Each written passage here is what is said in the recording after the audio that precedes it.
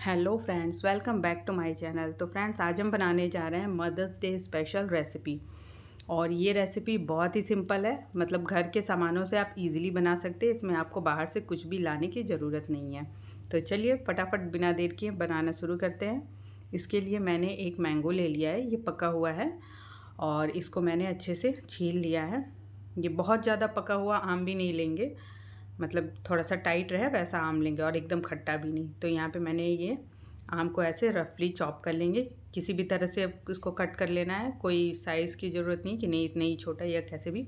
तो रफली मैंने इसको एक चॉप कर लिया। चॉप करने के बाद हम इसको मिक्सी के जार में बिल्कुल बारीक पेस्ट बना लेना है। अगर आपको लगे कि इसमें कुछ लम्स वगैरह गुटलियाँ वगैरह हैं तो आप इसको एक बार छान लीजिए। तो ये देखिए, मैंने पेस्ट को एक बाउल में निकाल लिया है। उसके बाद फिर मैंने यहाँ पे एक यह हाफ़ कप यहाँ पे मैंने पीसी हुई चीनी डाली है। और यहाँ पे मैंने ये ऑयल डाला है। ये भी वन फोर्थ कप ऑयल है।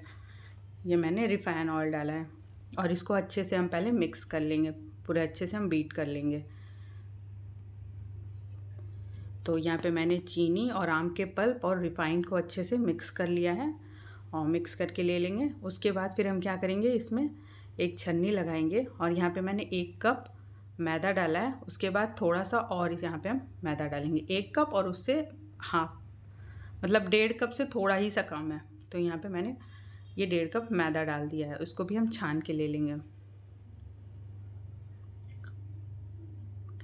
तो ये देखिए, छानने से क्या होता है ना कि इसमें एयर बबल्स आ जाते हैं। तो ये जो हम बना रहे हैं रेसिपी वो बहुत फ्लपी बनेगी, एकदम स्पॉन्जी उसके बाद फिर हम इसको मिक्स कर लेंगे। तो ये देखिए, मैंने इसको मिक्स कर लिया। तो यहाँ पे ये भी बहुत, इसमें थोड़ा सा मैंने इसमें दूध डाला है थोड़ा थोड़ा करके, ताकि ये बैटर भी थोड़ा थिक था। तो इसको मैंने थोड़ा पतला करने के लिए थोड़ा सा दूध डाला। नॉर्मल रूम टेम्परेचर पे दूध है, गरम करके ठंडा कर लिया हुआ। इस पर यहाँ पे मैंने थोड़ा सा ऑरेंज फ़ूड कलर डाला है, जिससे इसका कलर बहुत अच्छा आता है। तो ये देखिए, उसके बाद मैंने इन सबको अच्छे से मिला लिया है। इसमें हम थोड़ा अच्छे से इसको फेंट लेंगे, अच्छे से मिक्स कर लेंगे। तो ये देखिए, अभी भी ये बैटर थोड़ा थिक है। उसके बाद फिर मैंने इसमें डाला है पूरा एक सैशे इनो डाला है। ये नॉर्मल जो हम इनो यूज़ करते हैं ना, बेकिंग में, केक बनाने में वही है। उसको एक्टिवेट करने के लिए यहाँ पे मैंने थोड़ा सा दूध डाला है और उसके बाद फिर अच्छे से हम इसको मिक्स कर लेंगे। इनो डालने के बाद हमको बहुत ज़्यादा फेंटना नहीं है। बस इसको हमको मिक्स कर लेना है, एक ही डायरेक्शन में मिक्स करना है। उसके बाद यहाँ पे मैंने एक केक टिन लिया है, उसको डस्ट कर लिया है मैदे से, ताकि केक हमारा ना ईजिली निकल जाए। यहाँ पे मैंने कोई बटर पेपर नहीं यूज़ किया है। कुछ भी ऐसा चीज़ ही नहीं यूज़ किया है जो आपके घर में ना हो। वै, ये नॉर्मल जो हम घर में जो यूज़ करते हैं ना सामान, मैदा हमारे पास होता ही है, मैंगो का तो सीज़न ही चल रहा है, बस यही सारी चीज़ें हम ले लिए और इसको हम टैप कर लेंगे ताकि जो एयर बबल्स हो वो निकल जाए। उसके बाद मैंने एक कढ़ाई रखी है और उसमें एक स्टैंड रख दिया है। उसके बाद फिर मैंने ये केक को बेक होने के लिए रख दिया है। इसके बाद हम इसको ढक देंगे। प्री हीटेड कढ़ाई है। पहले से मैंने गर्म होने के लिए रख दिया था दस पंद्रह मिनट। उसके बाद फिर मैंने यहाँ पे आधा कप मैंगो लिया है और उसको अच्छे से पीस लिया है। फिर मैंने यहाँ पे एक कढ़ाई रखी है, उसमें थोड़ा सा पानी डाला है और यहाँ पे दो चम्मच पिसी हुई चीनी। और इसको हम मिक्स कर लेंगे। उसके बाद फिर हम जो मैंगो का पल्प बना के रखे हैं, अभी पीस के रखे थे ना, वो हम इसमें ऐड कर देंगे। तो मैंगो प्यूरी ऐड करने के बाद हम इसको अच्छे से मिला लेंगे। अभी आपको लगेगा ये अच्छे से मिक्स नहीं हो रहा है बट ये थोड़ी देर आप इसको चलाएँगे ना तो अच्छे से ये मिक्स हो जाएगा। और इसको हमको पाँच से सात मिनट अच्छे से पका लेना है। पकाने का, पका लेंगे ना तो उसके बाद इसका कलर थोड़ा सा शाइनिंग हो जाता है शाइनी शाइनी हो जाता है और आपको पता चल जाएगा कि मतलब पाँच से सात मिनट तो लग ही जाते हैं। तो ये देखिए, मेरा पाँच से सात मिनट हो गए अब हम इसको छान लेंगे ताकि जो थोड़ी बहुत गुटलियाँ वगैरह हो ना, वो भी निकल जाए। बिल्कुल स्मूथ सा हमको ये बैटर मिला।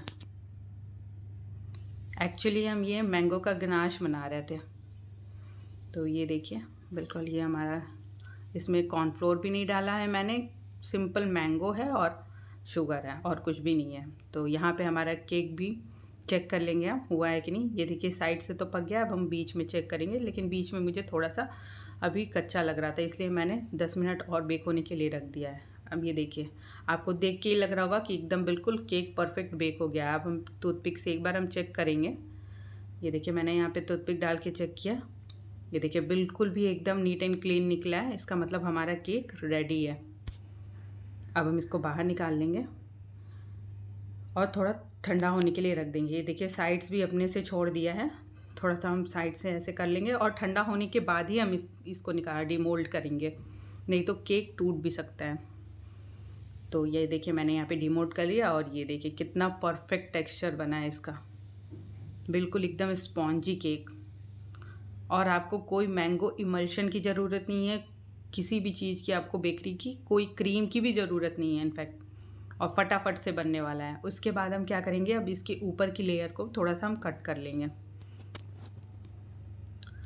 तो यहाँ पे मैंने ये ऊपर वाली लेयर कट कर ली है। इसको हम कट करेंगे ना, अभी डेकोरेशन में हम यूज़ करेंगे तो वो बहुत अच्छा लगेगा।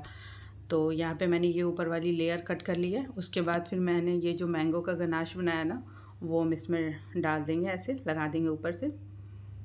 और फ्रेंड्स, बहुत ही हमें आप मदर्स डे पे अपने मदर को सरप्राइज़ कर सकते हैं, बिल्कुल।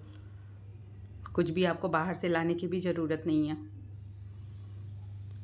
तो ये देखिए, ये पे मैंने पूरा अच्छे से पोर कर लिया है। इसको हम अच्छे से फैला के और आपको लग रहा है कि घर पे बनाया हुआ केक है।